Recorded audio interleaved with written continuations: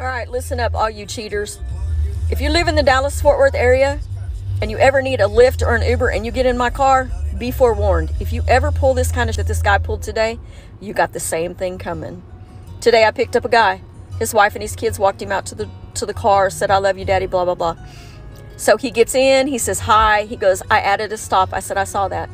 So we go and we pull up at the stop, and this lady comes out and she's got a little bit of luggage, like a handbag and a, a tote, a small tote. She gets in and she's like, I am so glad you finally got away from your damn wife. Hmm. Okay. So then he kisses her, and it wasn't a hi, how you doing kind of kiss. And so he goes, I changed our drop off location. I said, I saw that. Uh, I didn't know exactly where it was that they were going at that particular time. I just saw that it had an update. So um, they continued to talk and this, that, and the other. And she says, You know, I'm tired of you putting me off. When are you going to leave? And he said, You know, I've got some things I've got to take care of. You know, let's talk about this later. Blah, blah, blah, blah, blah, blah. Keep in mind, I was about five miles from his house. So understand something. This is my car. I work for myself. I am an independent contractor. If I choose to end your ride, it's my choice.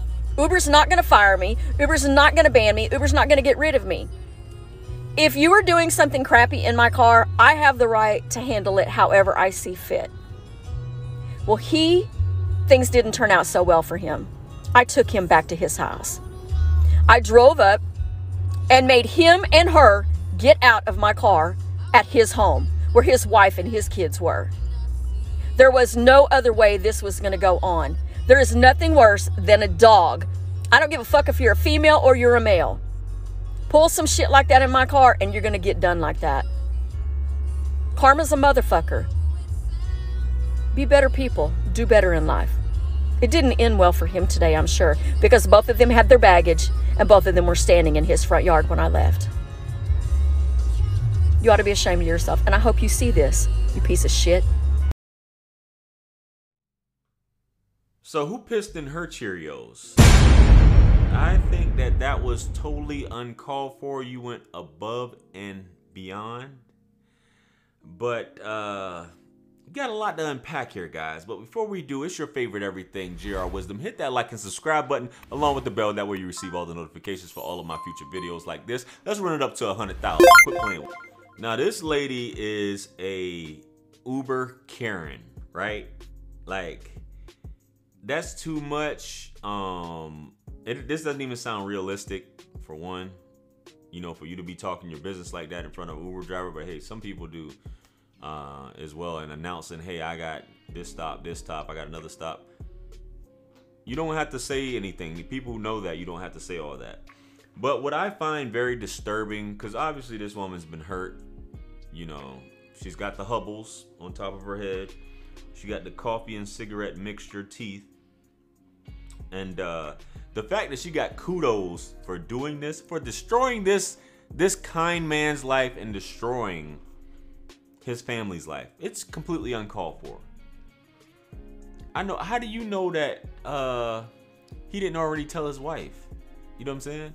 Even though he, you said that he was saying it, he might have already told his wife. And she was just like, "When are you gonna leave him? And when when are, when are you gonna leave her? Or whatever." Bro's like, "I got some stuff to handle. You don't know what's going on." And the fact that you took it that far, drove him back to his house and told him to get out along with the woman? Who are you? Are you holier than thou? Did your man leave you for a side piece? Which has gotten you, and I'm not saying anything's wrong with Uber or whatever, but the fact that you're taking your job this seriously, I mean, we we we we expect discretion when we get in when we hire an Uber and, or whatever is going on. You know what I mean? But some Karen, and obviously this is an example of a Karen, couldn't wait to snitch. And the fact that she got, like I said, she was, I think I saw an article about her being congratulated by the city, city of Dallas, um, or whatever. But, uh, baby, you can't stop your, this crusade that you might be on, or whatever. You can't stop people from doing what they're gonna do but you're like, this is my car. I can kick people out as I see fit. you know, it's it's not something that uh, you you with the TikTok is going viral. Man, we just got to stop the bullpucky. Stop it. Stop it. So, I guess, and now that her her channel's blowing up, now that she's talked about this stuff, cheaters are gonna cheat. People are gonna stay together. Hey, the fact that you did this, lady, you may you may have made them want to even uh you know try harder to stay together. The wife may have stepped her game up and decided to do some things now that she knows if she did if she didn't know, now that she does know, love conquers all. And y'all don't like when I say that, but it's it's just what it is. Love conquers all. You never know what's gonna happen at the end of the day. You're like, this isn't this isn't happening in my car. Oof. I showed you, I made you get out. Like, I hope he got caught. I hope this, I hope that. Man, stop it. we we gotta cut out the bull, man. Where as a society do we just, you know, mind our business?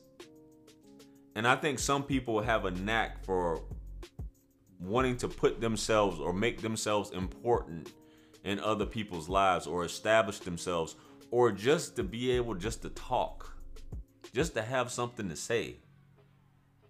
You know what I mean? The side chick's not not going anywhere, but you wanted the wife to know? Man, listen, there was a situation I knew a few years ago, right? Somebody made a call to the wife. Dude was cheating. Dude was cheating on his wife. Had a side chick somebody made a call to the wife and said, "Hey, such and such is uh, the side chick. Um, this is what Buddy is doing. Buddy's spending money on her. They're working together. They're doing such, such, such." You know what the wife said? Okay, what do you expect to come out of this? What do you want to happen out of this? You're calling me on my job to say this. What What are you expecting to happen? So and it was like, excuse me, I was just letting you know. Sometimes, guys, when you try to do this stuff and you think that you're proving a point, or you're trying to be like a, a crusader and say, yeah, this is gonna really destroy your world. A lot of times the, the other person couldn't care less and they're gonna they're gonna get on your ass about it. Like who the fuck are you? Who are you at the end of the day? You're telling me this information? You know what I'm saying? And you're trying to break something up? Doesn't always work like that. Just some just some things to consider, guys. You know what I'm saying? It doesn't always work the way you want it to work. And we must be conscious of these things. Alright? So being a Karen and snitching and laughing about things and I'm looking in the camera and I'm serious and if you ever even think about uh, bringing a, your side bitch and you know uh, trying to get your fuck on at a hotel. I'm gonna make sure that I, you know, report report it to the authorities immediately. I guess you're gonna be interviewing everybody from now on, or looking at their ring fingers and things like that. There's, there's a time to mind your business, and there's a time to actually, you know, get involved in things. You know. Just my thoughts. Anyway, let me know what you guys think about this situation. What would you have done if you were the Uber driver? And what would you have done if you were the side chick for you ladies watching? And what would you have done if you were the husband in in, in these scenarios? What would you have done? You know what I'm saying? Jared, what would you have done? Hey man, I would have kept it funky and got up out of there. You know what I'm saying? I'd have been like, okay, you know, you still ugly. You know what I'm saying? You're still ugly. You're still dusty. And uh, I'm gonna give this ride. Uh, your rating is gonna, you know, your your rating is gonna suffer here. But it is what it is. Comment below.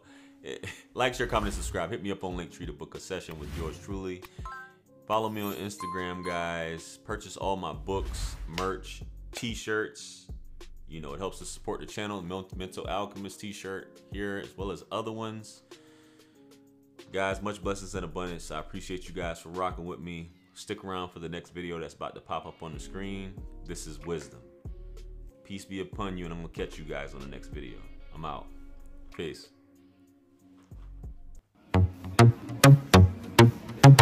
The beat maker. And I don't know. I haven't put a light in the sky for the G's that done turn memory from go. Blessings we send to the ghetto youth them.